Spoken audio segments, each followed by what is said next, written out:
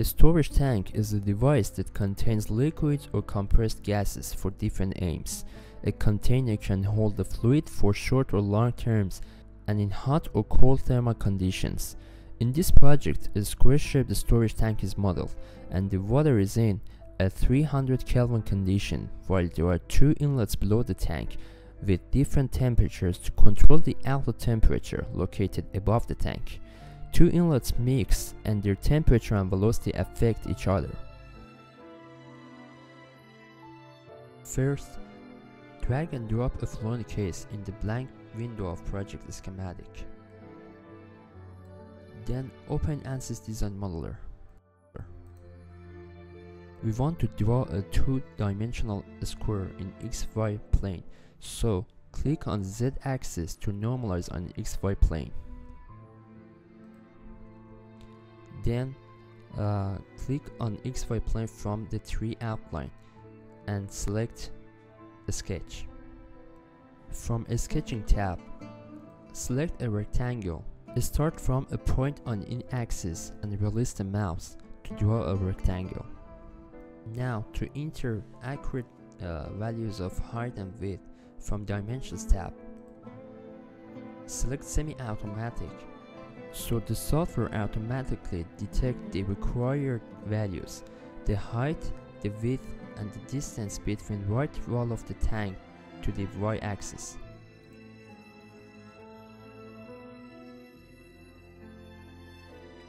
The height and width is 2 meter and the other one become 1.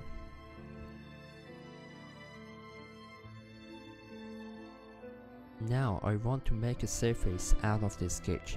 So after click on generate, from concept tab, select surfaces from sketches. Then select the sketch and apply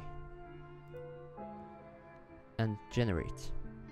Now I have to split the edge, the top of the tank to define outlet. The outlet distance from right and left side of the tank is 0.85 so from concept tab select split edges. Now select the top wall and apply it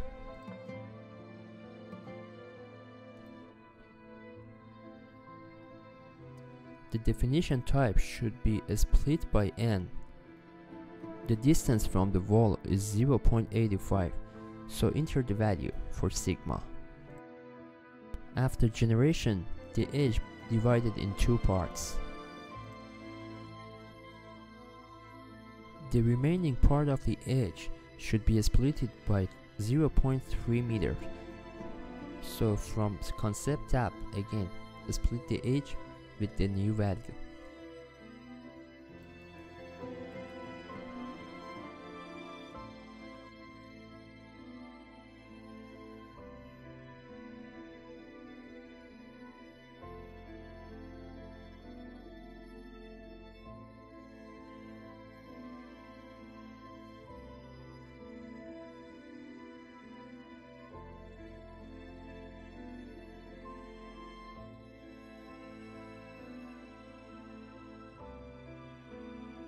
Repeat this action several times to define inlets at the bottom of the tank. The width of them are 0.2 so the values are different.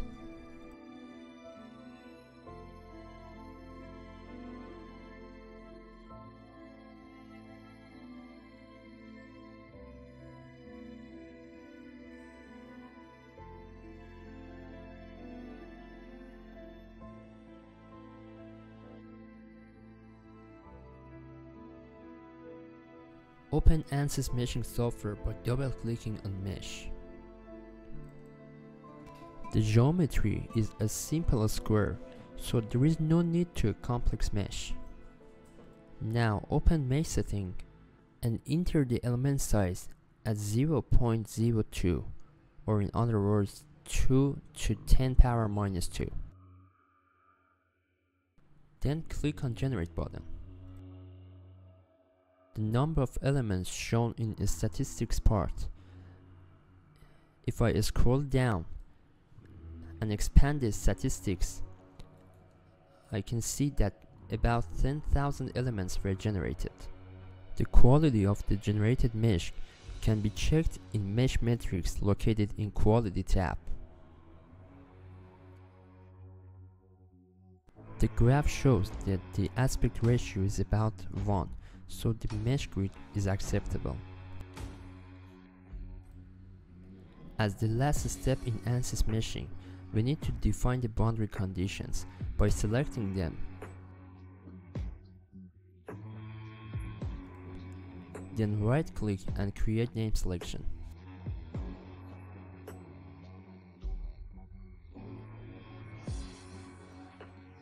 This process should be applied on all boundary conditions, including inlet hot flow, inlet cold flow, walls, and the surface, which is called as tank storage zone.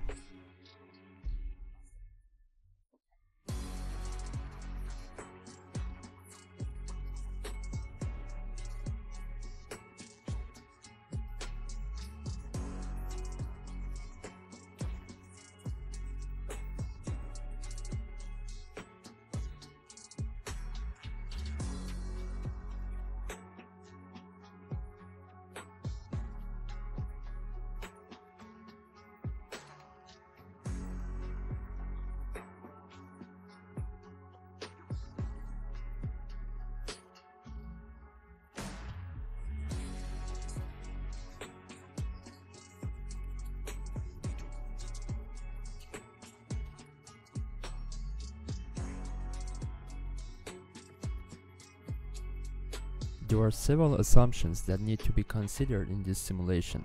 First, we use pressure-based solver type because we are dealing with an incompressible fluid. Next, we want to simulate in a steady state condition, which means uh, the variables like velocity and pressure may differ from point to point but do not change with time. And also, we ignore the gravitational effects, so just left the gravity option unchecked.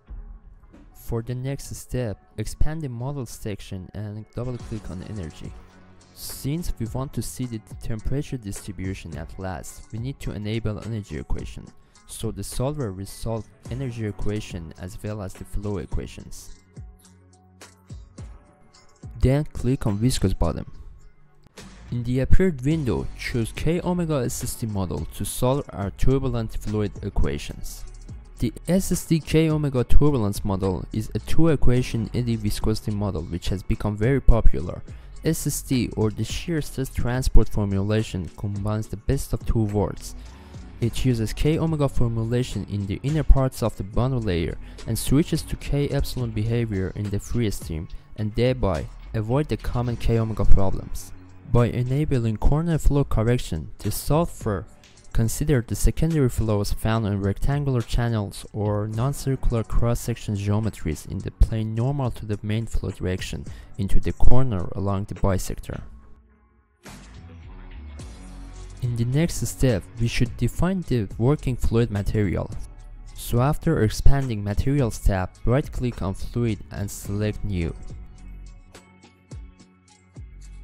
In the appeared window, we've got two ways to define the fluid. First way is to enter the properties of the fluid manually, and the second way is to use Fluent database.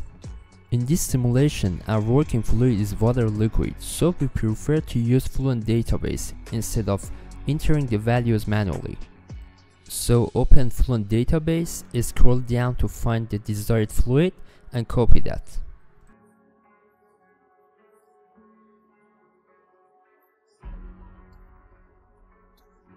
After that, we need to apply the fluid on our fluid domain. So from cell zone condition part, open tank storage zone. Define water liquid for material name and apply that. Next, we should define boundary conditions. Change the view to the zone type to have a better list of boundary conditions.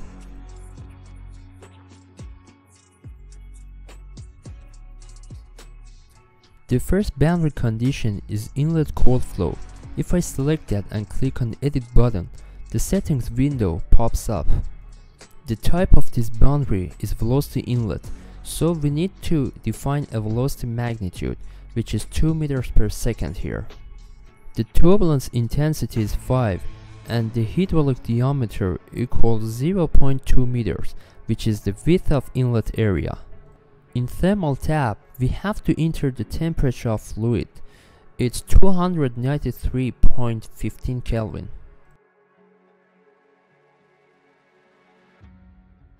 The second boundary condition is just the same as first one, but with different temperature.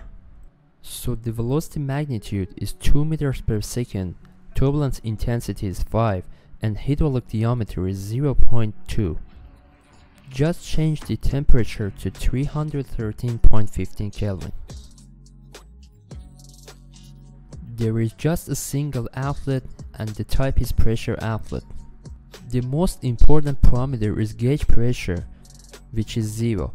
It means the fluid leaves the domain to the atmosphere. Although there isn't any backflow in this simulation, we defined backflow turbulence intensity and hydraulic diameter. Do the same thing in thermal tab for backflow total temperature, which means if there is any backflow, its temperature is 300 Kelvin. Finally, the last boundary condition is wall. If I open the settings window, you can see that it's a stationary wall with no slip shear condition. In thermal tab, I consider a convection thermal condition and the heat transfer coefficient is 5 and also the free stream temperature is equal to 297.15 Kelvin. It means that the storage tank is located in a standard temperature room. The first step in solution part is to define pressure velocity coupling scheme. ANSYS Fluent offers us 4 different schemes, but we prefer to use simple scheme here.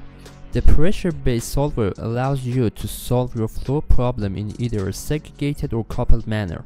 The simple algorithm uses a relationship between velocity and pressure correction to enforce mass conservation and to obtain the pressure field. Moreover, we use second order upwind for spatial discretization for its higher accuracy. To check the convergence of the solution, we almost always check the residual values, which will be discussed later, but it can be a trustable criterion so we define a parameter to monitor in each iteration from report definitions part. So when it gets to a constant value, we can be assured of the convergence.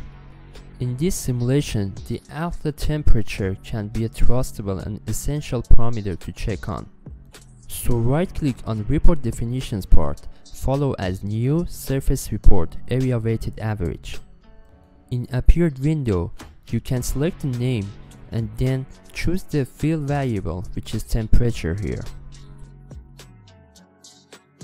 And then select the outlet surface.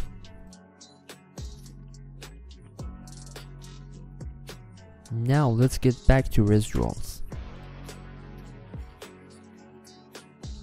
after each iteration the solver records the values so the reported value in the console part represent the differences between two consecutive iterations.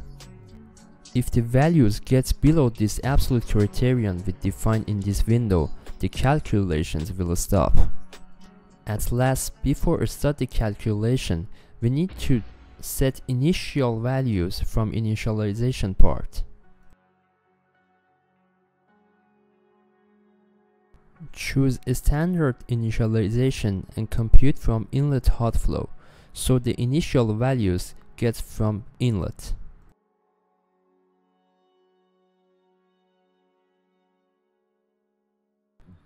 Open run calculations part and enter thousand number of iterations. For post-processing, in order to create a contour vector path line in ANSYS Fluent, we should use graphics section in results part. For example, to make a contour here, double click on contour section. In the appeared window, we've got two main options. First, to select the desired variable from contours of field, and then select the surface, which means the surface that we want to create the contour on. As you can see, the contour of velocity on the tank storage zone is shown. Now change the variable to temperature to see the temperature distribution from the inlet to the outlet.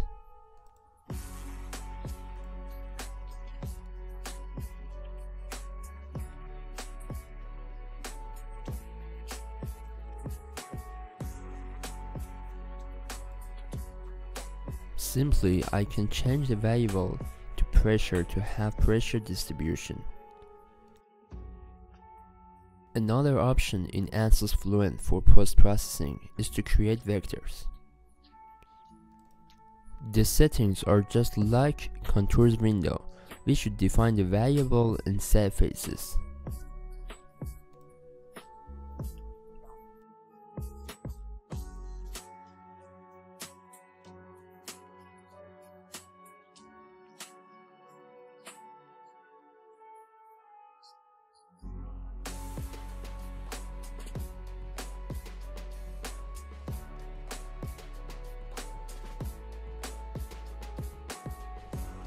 end of the solution process, two-dimensional contours and vectors related to water pressure, temperature, turbulent kinetic energy and velocity are obtained. Water flow enters the domain from the inlets and moves to the outlet with high speed. As can be seen in the pictures, both flows tend to central outlet direction and mix, so it affects their temperature and velocity. Also, fluid enters the channel in a high pressure value and leaves it with gauge pressure equal to zero.